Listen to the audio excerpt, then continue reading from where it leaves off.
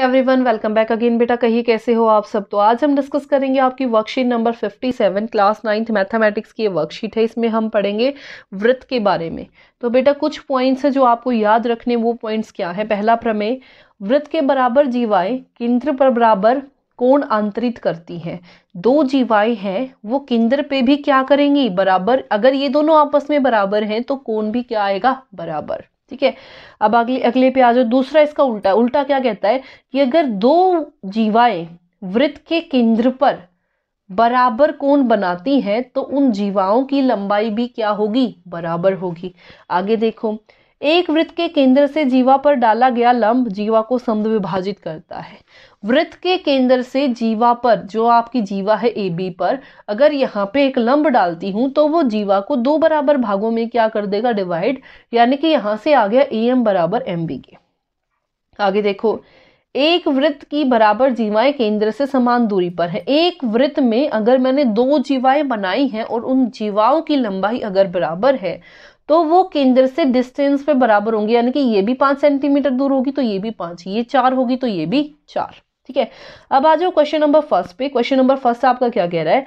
यदि एक वृत्त की दो जीवाएँ वृत्त के अंदर प्रतिच्छेद करें तो सिद्ध कीजिए कि जीवा के खंड दूसरी जीवा के संगत खंडों के बराबर होगा। तो ध्यान से देखना बेटा इस क्वेश्चन में, ये आपका वृत्त, उसने बोला एक जीवा, ये जीवा इस जीवा के बराबर, ये ए बी बराबर हो गया सी डी के। ये आपका केंद्र, ठीक है? अब उसने मेरे को बोला, अगर ये ई e पार्ट पे डिवाइड कर रहे हैं तो उसने बोला कि ई e बी जो बराबर होगा ई e डी के, या तो ये प्रूव करो, या ये प्रूव करो ए ही बराबर होगा ई सी के, ठीक है? ये आपका केंद्र।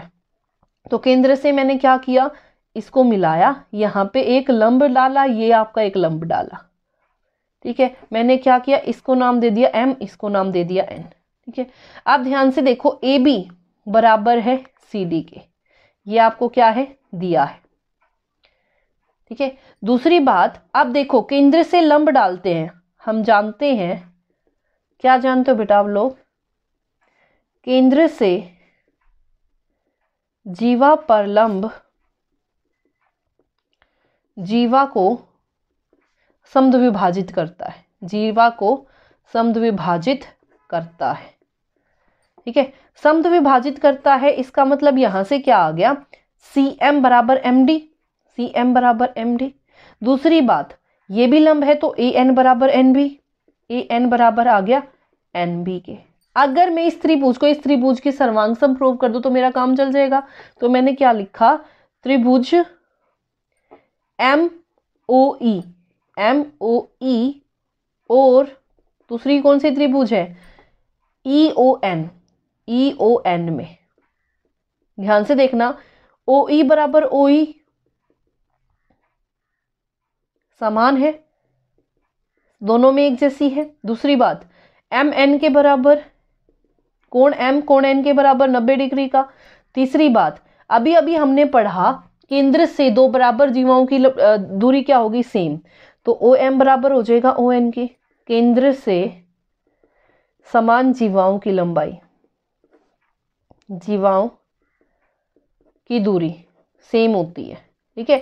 अब देखो यहाँ से इसका मतलब त्रिभुज एम ओ ई जो है वो सर्वांगसम हो गई। कौन सी त्रिभुज के? ई ओ एन के। कौन से क्राइटेरिया से? Right hypotenuse side R H S से। अगर ये यहाँ से सर्वांगसम हो गई तो इसका मतलब बेटा जो ये वाला पोर्शन है, इस वाले पोर्शन के क्या आ गया? इक्वल यानी कि ई एन किसके बराबर आ गया? ई एम के। तो ई एन किसके बराबर आ गया? यहाँ से ई एम के। ठीक है? अब ध्यान से देखना बेटा ए एन ये आपकी फ़र्स्ट यहाँ से देखो। अगर मैं यहाँ से बात करती हूँ, अब ध्यान से देखना, अगर मैं यहाँ से बात करती हूँ, जब पूरी पूरी बराबर है तो आधी आधी भी बराबर होंगी। यानी कि इसका, जब ये पूरी इसके पूरे के बराबर है तो इसका आधा इसके आधे के बराबर होगा। इसका आधा कितना? एम डी एम डी किसके बराबर होगा? एन बी के। तो यहाँ से मेरे पास क्या आ गया? This implies M D is equal to N B ठीक है?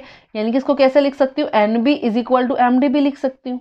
This is your first equation तो पहला और दूसरा क्या कर दो? प्लस यानी कि ई e एन में क्या प्लस कर दो? एन बी और ई e एम में क्या प्लस कर दो? एम डी ठीक है? तो जब मैंने ई एम डी में क्या प्लस किया? ई e एम तो पूरी एम डी ई डी बन गई। इसी तरीके से जब मैंने एन बी में क्या प्लस किया? ई एन तो क्या बन गया? ई बी हो गया? यही तो मेरे को प्रूव करना था। अब आगे देखो। अगर मैं ए एन में से, दूसरी बात ये ये वाला आधा पोर्शन भी बराबर होगा। ए एन किसके बराबर आ जाएगा? यहाँ से सी एम के, ठीक है? यानी कि इस, इसमें से अगर इसको क्या कर दूँ? माइनस। अगर ये स्टार इक्वेशन है तो स्टार समीकरण में से दो को क्या कर दिया? माइनस। तो ए एन में से ई एन को क्या कर दिया? माइनस। और सी एम में से ई एम को क्या कर दिया? माइनस। तो सी एम में से ई एम गया क्या बचा? सीई यहाँ से देखो ए एन में से ई एन गया ए तो ए किसके इक्वल आ गया? सी के। ठीक है?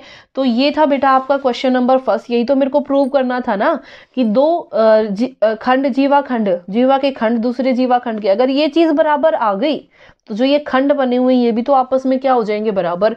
इसको प्रूव करो या ना करो तो दोनों में सेम है कोई फ़र्क नहीं पड़ेगा। लेकिन आपका मेन काम कहाँ तक है? ईडी बराबर है ईबी के। ठीक है? तो बेटा ये थी आप, ये था आपका question number first now move to our question number second question number second आपका क्या कह रहा है? ध्यान से देखना।